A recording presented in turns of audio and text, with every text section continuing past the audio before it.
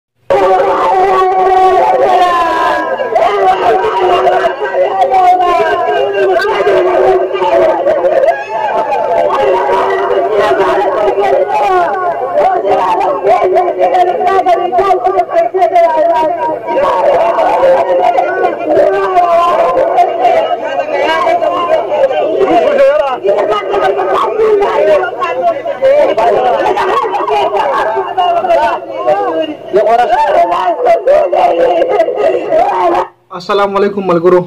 دا ویډیو کمپلیټ وګورئ دا یو مور ده چې د دې مور زوی په ترکي کې وفات شوی دی او لاش یې هلته پروت دی د لاش د راوستو هیڅ بندوبست نشته نه پاکستان حکومت سره شته نه ترکي حکومت سره شته او دا مور دلته په غم ځپلې جړا فریادونه کوي ډېر ډېر ورځې وشوې چې دی زوی هلته پروت دی ډېر ټایم وشو نو شوق دې مور لشه چې په دې باندې دا غم تېرېږي او د زوی مخ کتو نصیب هم نشته دی نو ډېر د افسوس خبره ده پښتنو مسافرو سره ډېر زیات ظلم کېږي ظلم خو خیر د الله پاک د طرفې دی او سه د پاکستان حکومت او سه د سعودي عرب سه د دوبۍ چې کوم ملکونو کې مسافر دي سه د هغه حکومتونو چې دئ مسافرو سه غم او بندوبست نه کوي نو ډېر زیات د افسوس خبره دا ویډیو درسره شریکه کوم دا ویډیو وګورئ ډېر د افسوس ډېره د غم ویډیو ده یار چې کوم ځای کې اور بلیږي یا غزینه لوخړه خېږي دا غم مونږ له نه محسوسېږي ډېر کم مونږ له محسوسېږي خو په دې مور چې څه تېرېږي تاسو لږې سترګې پټې کړئ او سوچ وکړئ چې ان کیس خدای مکه الله مکه داسې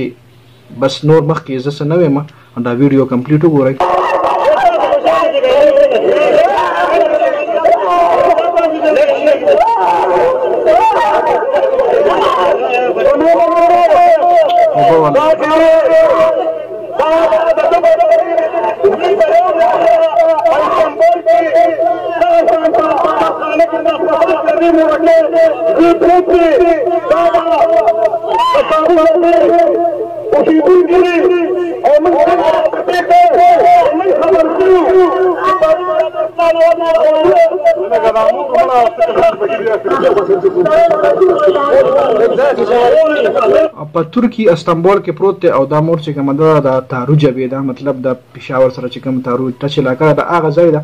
نو ډیر زیات د غم مقام دی یاره ډیر زیات د افسوس مقام دی دا هړتال چې کوم دی دا سټرایک چې کوم دی نن پېښاور کې د پریس کلب مخې له شوی دی د مسافرو په حق کې او ډیر ګڼ تعداد کې پکې پښتنو شرکت کړی دی او ډیر زیات یوټیوبر پکې هم شرکت کړی تاسو پکې کتلی هم وي ما پکې ولیدو ذیشان خان او لف خان شیر په ډیر یوټیوبرز پکې مو لیدل نو ډیره غټه کاروي دی کړی ډیر غټ مهنت دی کړی دی الله کا چې دی دا مهنت رنګ وروړي او حکومت سره ناسې ګدامو کې د مسافرو لپاره ځکه ډیر لاشونه هلته پراته دي ژوندي خو پریږده چې هلته مړي هم د مسافرو پراته دي د پښتنو مړي دي د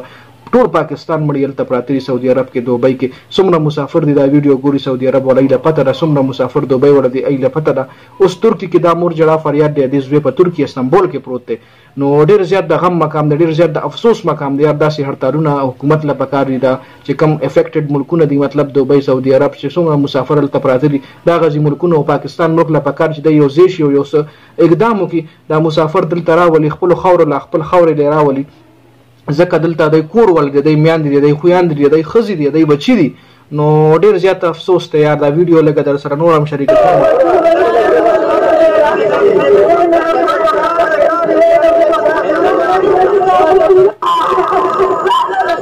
دا وګوره یار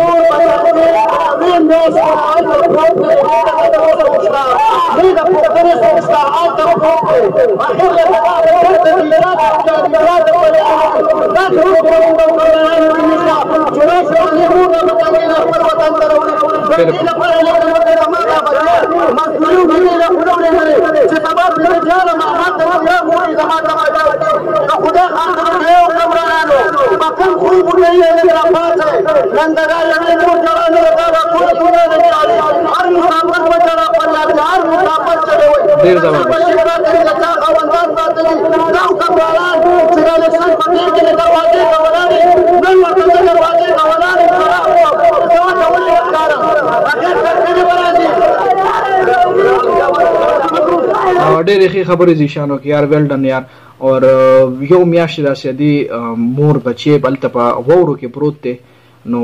دا میان د دې لپاره ماشومان دا میان د دې لپاره خپل بچی لویی چې سبا دای سره داسې کېږي مسافري دی دې لپاره لېږي چې سبا بل وطن کې پروت یو دروړو یې هم څوک ني نو دې ټایم کې په حکومت باندې ډېر غټه ګوته اوچتېږي ډېر غټ سوال په هغه په حکومت په پرفارمنس باندې دی او بیا د هغه ملک سفارتخانې باندې ډېر غټ پرفارمنس د هغه په پرفارمنس باندې ډېر غټ سوال دی یار هغه ځي سفارتخانه دومره به حصہ ده هلته مسلمان نشته د پاکستان سفارتخانه کې هلته داسې سیک پروت دی داسې بې حسه انسان پکې ناست دی دوبۍ سفارت خانه شوه کړه دوبۍ شوه سوري کړه سعودي عرب شوه ترکي شوه نو هر ملک خو سفارت خانه د پاکستان سفیر پکې هلته ناست نو دومره بې حسه دی دومره بې جانه نه چې هغه دا د دې مور جړا فریاد نه اوري نو ډیر زیات د افسوس مقام دی یار دا ویډیو ډیره زیاته غمګجنه ویډیو ده یار دا مور د زړه نه یو الله خبر یار بیا مسافر زوی او بیا چې هلته وفات شوی وي یار د هغه خلکو له پته لګېږي چې چا رور د چا پلار د چا خاوند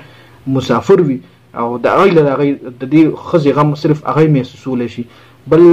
د ویډیو کتلو ډیره زیاته مهرباني یار امید لرم دا ویډیو بر تاسو خوښه شي وي خپل رائے موږ سره کمنټ کې پیښ کړئ دا ویډیو اوریجنل تاسو ته هم ملاوي دی شي په پښتو سټوري یو چینل دی په هغه باندې تاسو ته ملاوي دی شي ډیسکرپشن کې به زه لینک درکم دا ویډیو تاسو ولته کتې شي خو دا ویډیو میکسیمم شیر کړئ مطلب شیر کېدل چې دې مسافر هیلپ وکړه چې د مسافرو څومره مسافر دي ډیر زیات په خفګان کې ډیر زیات په تکلیف کې ډیر زیات په سعودي یار نو خدای لپاره دا ویډیو شیر کوي اوریجنل ویډیو شیر کوي یا تما دا ویډیو شیر کوي نو ګڼ تعداد کې شیر کوي یار چې د پاکستان د بیجان حکومت د به هیڅ حکومت او د سعودي عرب او د دوبۍ او د ترکیې د حکومتونو لګراویخ شي یار د دې خلکو مدد وکړي شي ځکه پاکستان چې نن پاکستان دی او پاکستان له څومره پیسې هم راځي د بهر ملکونو نه راځي نو پاکستان معیشت پېښه کیږي نو تاسو له ښه پته ده چې پاکستان څومره خلک په دوبۍ کې کار کوي څومره په لکونو په کروڑونو یار هلته دوبۍ کې سعودي عرب کې مسافر دي او پیسې ګټي که چېرې دا بې روزګاره شو دلته راغلو د پاکستان به څه حل شي تاسو خپله سوچ وکړئ یار نو دا مسافر چې کوم دي زموږ د ملک ملا ده زموږ د ملک بیک بون دی نو دوی به موږ سپورټ کوو هر ځای کې دوی تکلیف دوی تکلیفات دپاره دا پښتانو ته دي دغه دي غټ کار دی کړی دی ته سلام زه پیش کوم او د ویډیو کتلو ډیره زیاته مهرباني ویډیو ګڼ تعداد کې شیر کوي امید لرم ویډیو پر اساس خوښه شي وي جنید خان افیشل چینل سبسکرایب کړئ ویډیو لایک کړئ والسلام